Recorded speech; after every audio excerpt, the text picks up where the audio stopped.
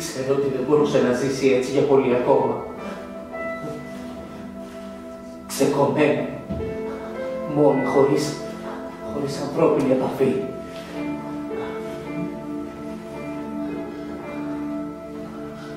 Βυθίστηκε στην ανάμνηση του ερωτικού της έρωτα.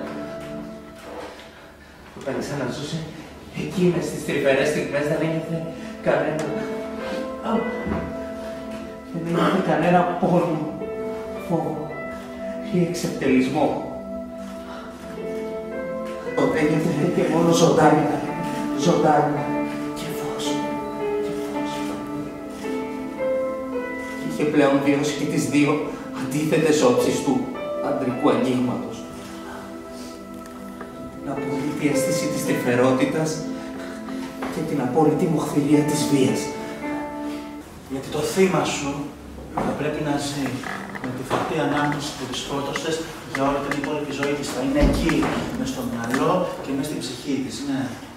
Ο θάνατος είναι πολύ λίγος για σένα.